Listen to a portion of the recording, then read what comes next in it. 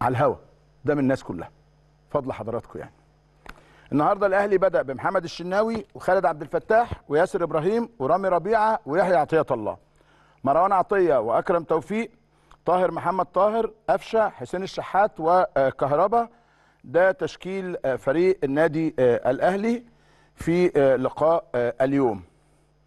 الأهداف الأربعة اللي سجلها محمود كهربا في الدقيقة 14 من صناعة القفشة ثم قفشة في الدقيقة 21 من صناعة الكهربا ثم أو آسف من صناعة الطاهر ثم حسين الشحات في الدقيقة 26 من صناعة لكهربا ثم كهربا في الدقيقة 49 من صناعة لخالد عبد الفتاح. في المقابل هدفين دخلوا شباك النادي الأهلي في الدقيقة 30 كسوم كوني وروجر أسالي في الدقيقة 30 والدقيقة 55 تغييرات الأهلي رضا سليم بدلا من الشحات في الدقيقة 75 ومعاه كوكا بدلا من قفشة وبيرسي تاو بدلا من كهربا. ثم في الدقيقة 42 عمر الساعي بدلا من أكرم توفيق وكريم الدبيس بدلا من يحيى عطية الله. أنا عايز أتوقف شوية مع التغييرات وليا يعني عتاب كبير جدا.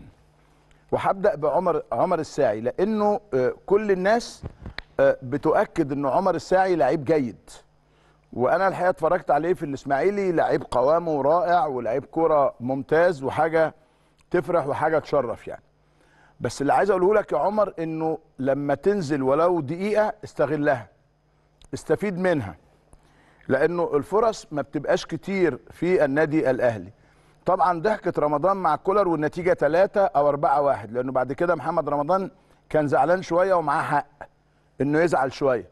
وكان على وشه علامات الاندهاش والتعجب والاستغراب انه فرقة بدل ما يعني تفوز زي ما انت عايز بتضيع فوز كبير وبتسمح ان يدخل مرماك هدفين.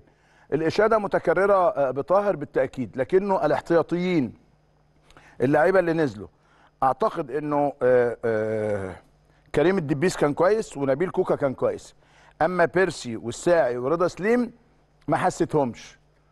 يا جماعة الربع ساعة وقت طويل جدا في عالم كرة القدم وبتغير من نتائج. ولكم العبرة والدرس من قفشه مثلا في نهائي الكاس أمام الزمالك في السعودية لما صنع وسجل في جزء من المباراة.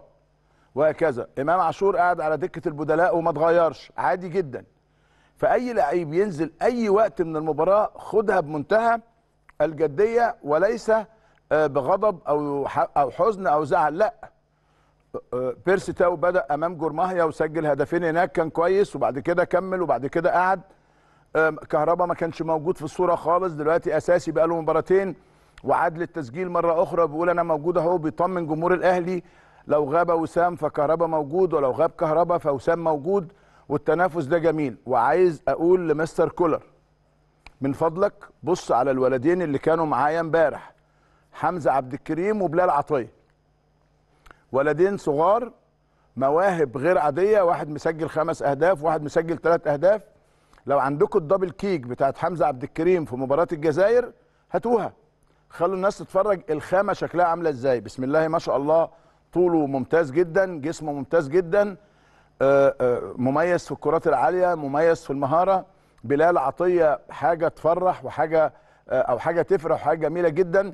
لعيب كويس قوي قوي قوي وهداف. وعندك بقى زي النهارده مثلا عندك كباكا في منتخب الشباب بقى ونبارك لمنتخب الشباب ونهنيه لأنه قبل التحدي.